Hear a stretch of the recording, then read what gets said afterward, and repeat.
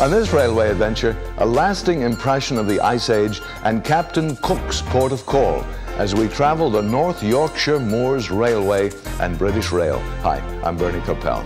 Just up the tracks, William the Conqueror's 11th century castle and the radomes of Fylingdales. Join me from Whitby to Pickering on Railway Adventures Across Europe.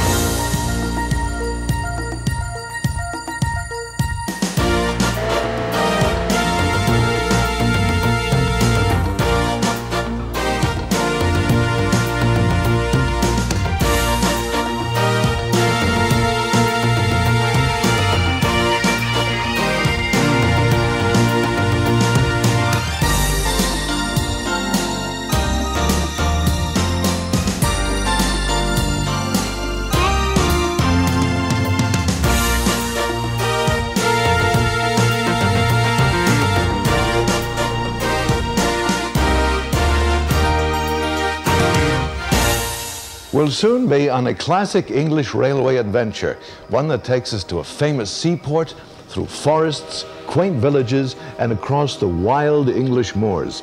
As we travel, we'll learn what English engineering accomplished to keep the rails from sinking into the bogs. Our adventure begins in the county of Yorkshire at the coastal town of Whitby. From there, we'll steam across the moors to Pickering, we'll see a monument to whaling and visit a port favored by both Captain James Cook and Captain Scoresby, who invented the crow's nest. We'll travel an incredible gorge carved by ice thousands of years ago, encounter a cliff-top Anglo-Saxon monastery closed by Henry VIII, Pickering Castle, and a steam locomotive named Dame Vera Lynn. All this and moors, the English moors, by the North Yorkshire Moors Steam Railway. All aboard for Tracks to Moors. On the northeast coast of England, in the county of Yorkshire, stands the coastal town of Whitby, the starting point of our railway adventure to the North Yorkshire Moors Railway. Our adventure will take us from Whitby south to the bustling market town of Pickering, British Rail's Sprinter trains run a regular service into Whitby, which lies at the eastern end of the picturesque Esk Valley Line. The town is dominated by its cliff-top abbey, which was built in 1220 on the site of an Anglo-Saxon monastery. The abbey was closed in 1539 by Henry VIII and soon fell to ruin. The Church of St. Mary's has been built in recent times alongside the old abbey. The soft sandstone used for gravestones in this cliff-top graveyard bears the scars of many years of erosion by the weather, which can be particularly harsh on this coastline. These huge whale jaw bones, placed here in 1963, are a reminder of the town's past links with the whaling industry. Captain James Cook is among the many famous connections Whitby has with the sea.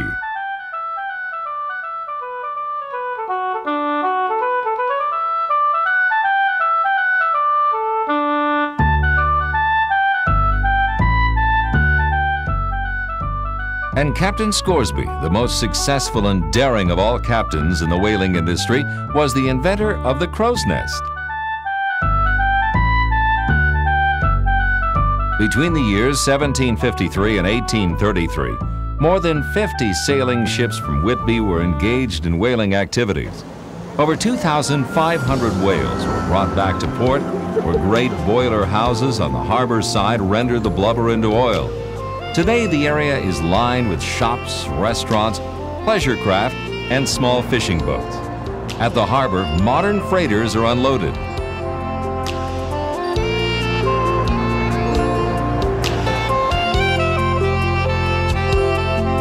Town itself is typical of any small port. The houses crowd together in narrow back streets, almost touching in places across the narrow passageway. Cobbled streets and stone steps worn by centuries of use lead the way to the Abbey.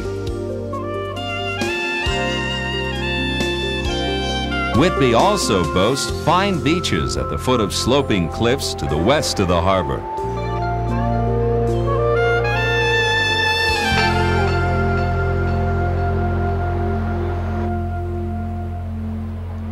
Whitby was once an important rail station.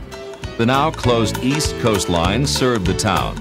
The station seen here in its heyday has since been reduced to a single line.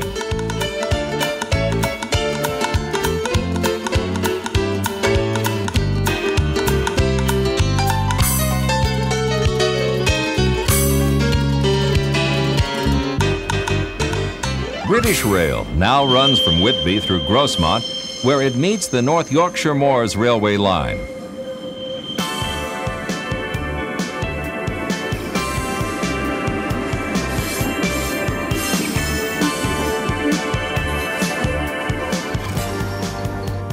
The railway is 18 miles long and runs from Grosmont to Pickering. In the yard, work's begun on the locomotives. Polishing, coaling, and oiling are all essential in the preparation of a steam locomotive for its day's work. A modern front-end loader fills the old engine's tender with coal.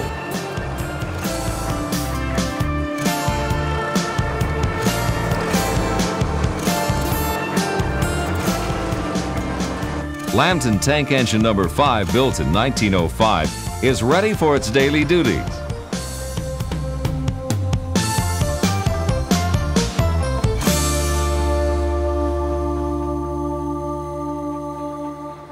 Up next, cottages that rented for 12 cents a week when Railway Adventures returns.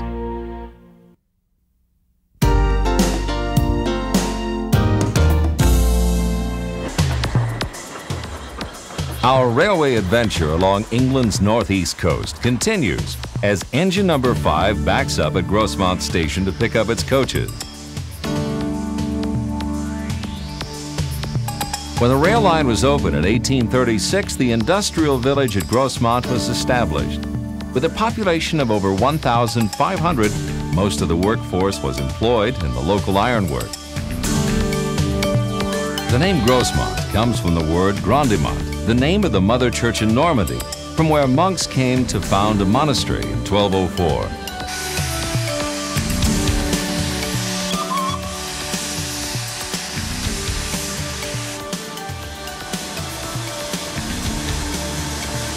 Old number five is steamed up on a sunny day in England.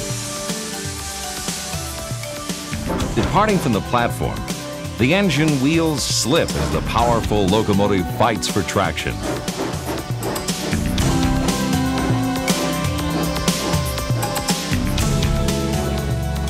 The LHJC on the engine side are the initials of the original owners, Lambton, Hetton, and Joicey Collieries. The locomotive hauled coal for all of its life before pulling passenger coaches on the North Yorkshire Moors Railway.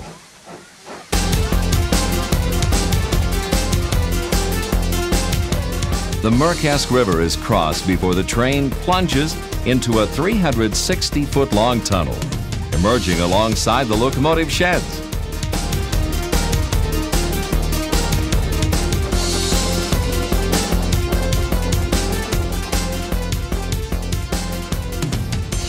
As the climb toward Goathland begins, both fireman and engineer work hard to maintain a steady speed.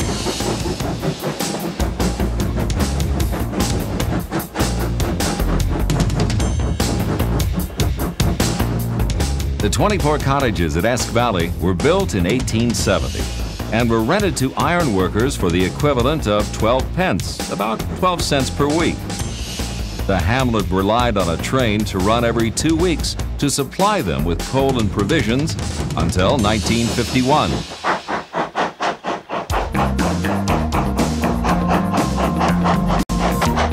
Emerging from a tunnel, our train chugs slowly across the English countryside.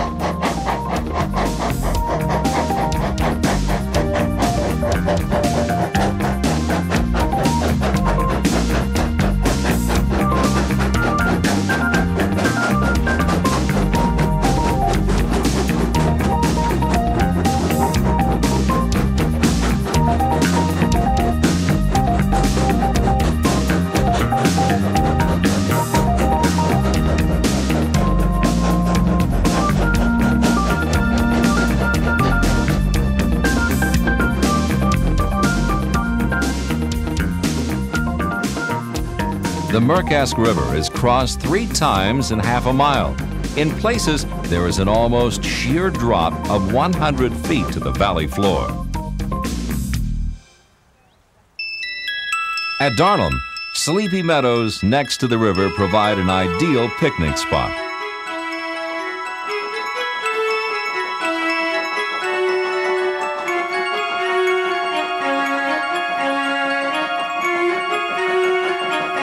Climb between Goathland and Grosmont is 1 in 49, among the steepest rail gradients in Great Britain.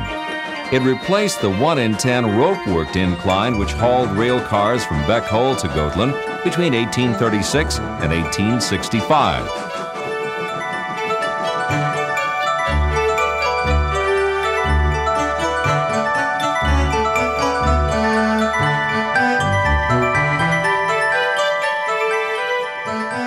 The engineer has the Goathland station in sight.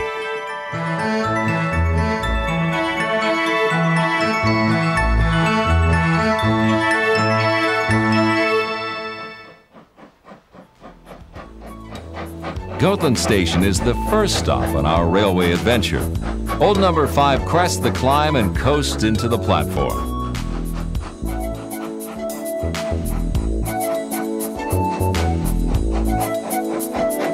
Train is climbed for three and a half miles from Grosmont.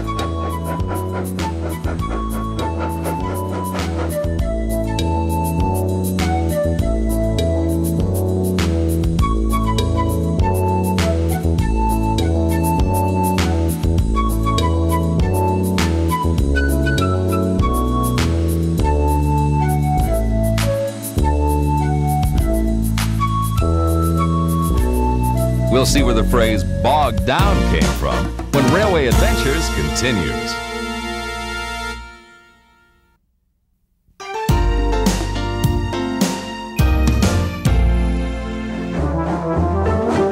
We're back on England's North Yorkshire Moors Railway.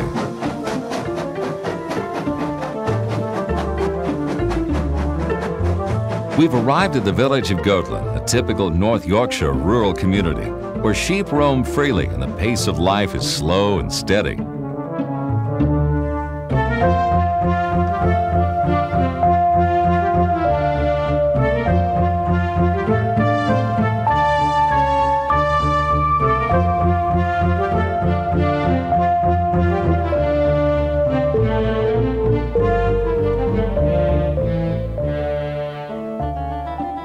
Goathland Station itself has changed little since it was opened in July of 1865. The design of the station was typical of the Northeastern Railways in the 1860s. There are several identical stations on the British Rail Esk Valley line between Whitby and Middlesbrough.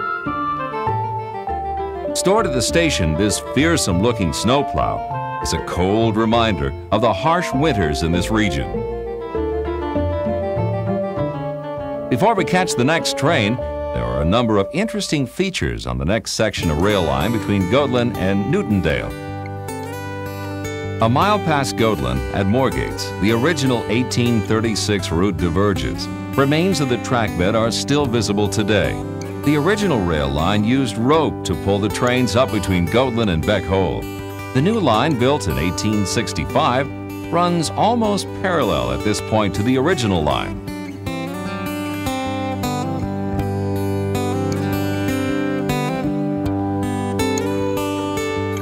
Rails now have to cross open moorland before entering and following the Newtondale Gorge, which was formed at the end of the last ice age, almost 10,000 years ago.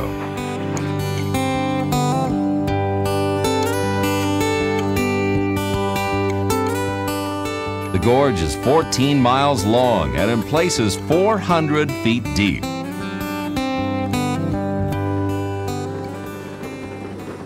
On the highest point of this moorland stands the 150-foot-high radomes of Fylingdales. These radar towers have stood watch 24 hours a day since 1964. 9,000 years ago, this area was dense woodland. When the trees died out, they formed this area of peat bog known today as fen bog.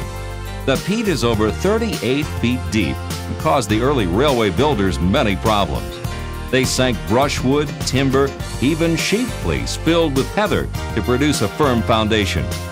Today, Fen Bog is a nature reserve with a unique mixture of bog and fenland plants. The line now sweeps down into the forest surrounding Newtondale past these ruins known as Carter's House. Sweeping around the long curves and past Carter's House ruin is British Southern Railway's Class S5 number 841, which spent much of its early life on mail and freight trains out of Waterloo. Our adventure continues from Goathland where at the station we await the arrival of the engine named Vera Lynn on a Pickering bound train.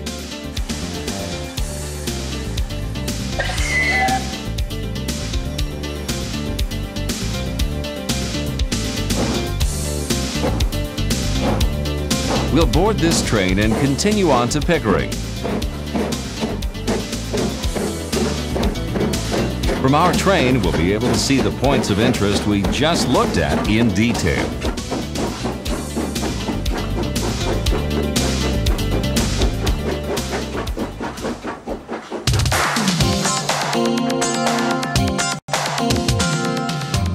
Moorgates, we passed the old line before crossing Fenbog and then Carter's House Ruin.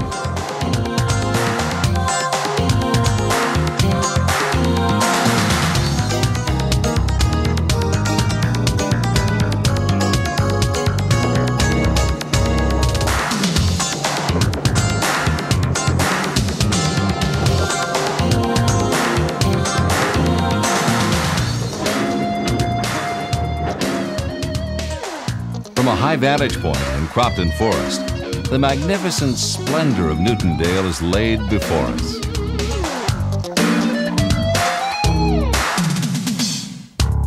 Far below, the railway twists past Newtondale Halt.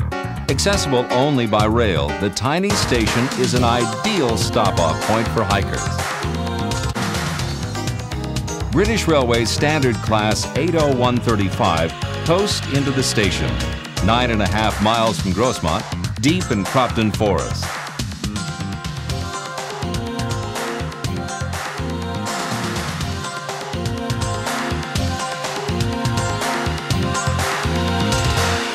William the Conqueror's Castle, where railway adventures continue.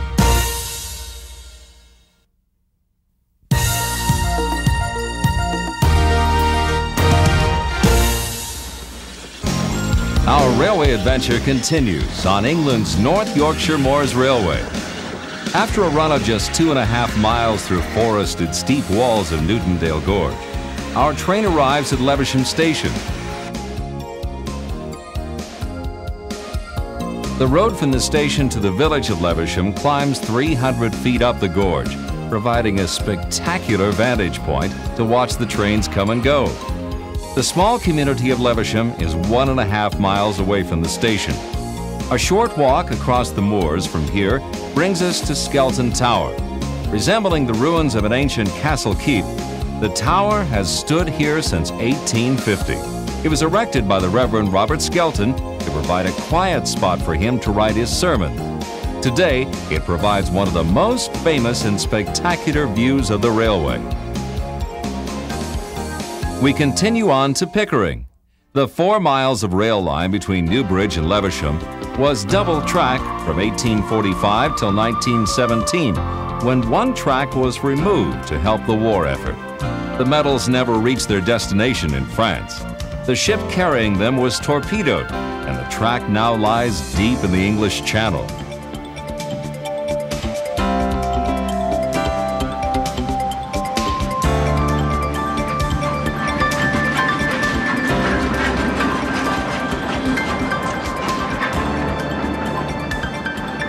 Pickering is the end of the line for the North Yorkshire Moors Railway. Originally, the line continued on south through Malton.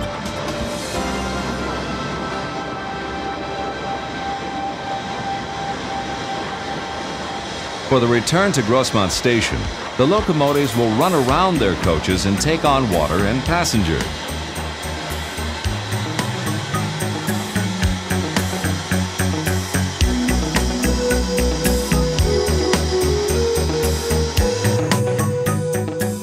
Pickering itself is a busy market town where local farmers bring their goods to sell.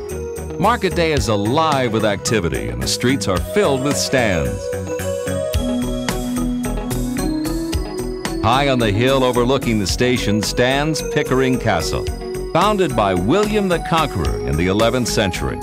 For most of its useful life, it controlled hunting in the nearby forest and provided accommodations for the king and his relatives. Our arrival and short tour of Pickering completes this railway adventure on the North Yorkshire Moors Railway. We'll take the wine and dine special for the return trip to Grosmont in Whitby.